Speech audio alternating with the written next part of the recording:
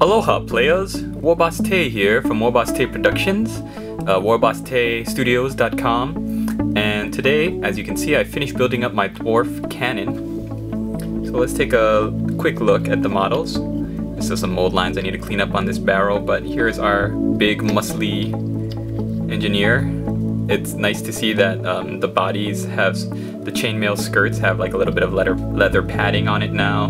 We've got this bald dwarf head, which is different from the uh, all the other ones and all the other plastic kits. He's holding a giant cannon shell, and he's lugging around a keg of gunpowder.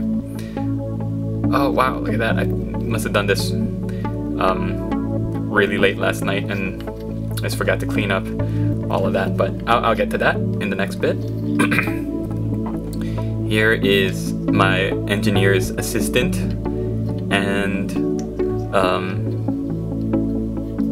I'm I'm calling him that because he's got this mask which uh, I think is super cool. I'll paint it up like all gold and silver and it's got like the little eyepiece. But I was thinking of giving that to the engineer, but then that wouldn't that would mean that nothing would really distinguish this guy because this guy's got the big muscly arms. He's hold he's lugging around the keg of gunpowder. The engineer's the engineer and yeah, so I wanted to give this other engineer's assistant something, so maybe he had a horrible uh, misfire, which totally messed up his face, so now he wears this mask. I think that's pretty cool. And here's the third guy, if I want to use him as the engineer for the cannon, then he could also be that. He's holding up a clipboard, which I'm planning on painting like it's a uh, diagram of the battlefield. And he's waving his arms like, what's going on? Come on, come on, what are you guys doing? Move it, move it, we gotta load this cannon, come on. Or actually, since they talk with a Scottish accent, What are you doing? Move it, hurry up, load this cannon, we've got to shoot the buggers. And um, as you can see, he's got a lot of tools on his belt. So that's what I liked about this model is that GW modeled it to have like tweezers and pliers and all this other stuff. Little little baby hammer. Yeah, so that'll be pretty cool to paint up. Lastly, we've got the cannon here. Nothing too uh, difficult about building it, you just have to take your time and make sure you dry fit everything before you super glue it, or plastic glue it in this case.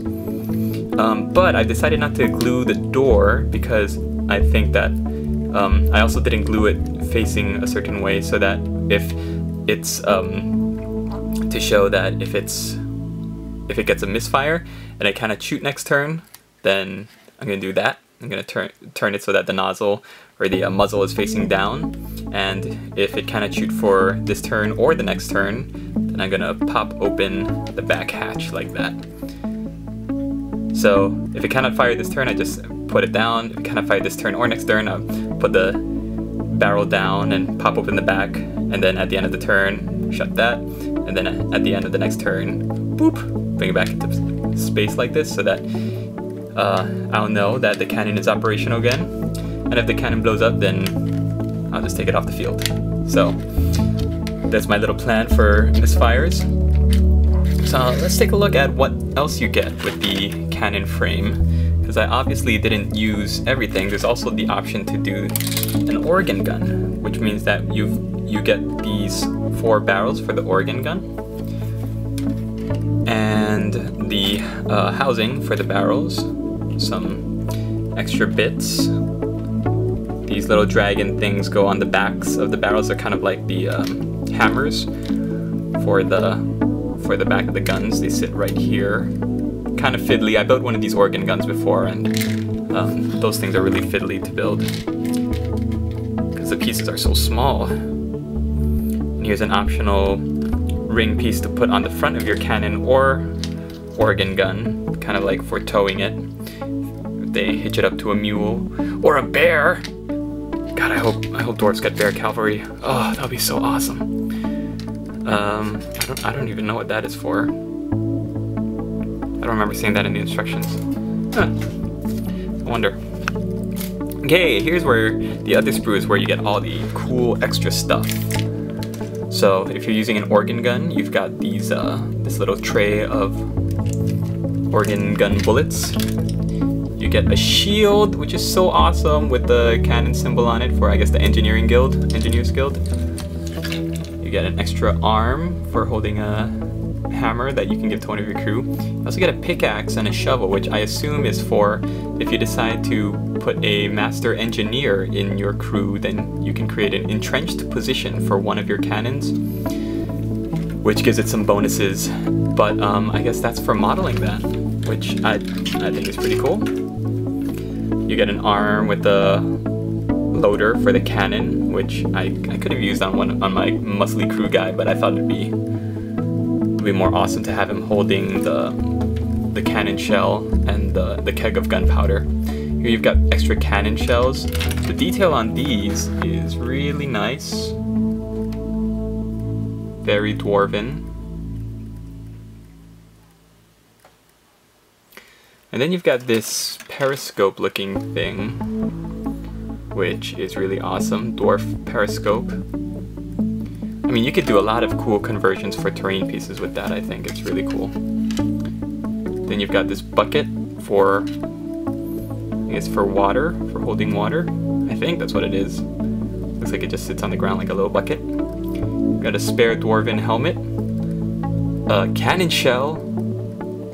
Awesome. Uh, one of the crewmen could have this arm for operating the cannon, like they're uh, adjusting it, loading, um, adjusting the, the angle of the barrel. And yeah, it looks like it looks like with all the cogs and the gears and everything that the dwarves are kind of moving slowly towards a more steampunk aesthetic. You can take a look at all the gears and and stuff, and that's kind of how I'm gonna plan on on painting it, not as straight gold and silvery, but I'm gonna try to see if I can do some brass and uh, copper looking things just to make it look kind of more like steampunk-ish. I think that's a pretty cool aesthetic, and um, I hope GW continues with that for their dwarves. Okay, so that didn't take too much time at all. So for, for day four, where we are in our painting challenge, sorry about that, battery died.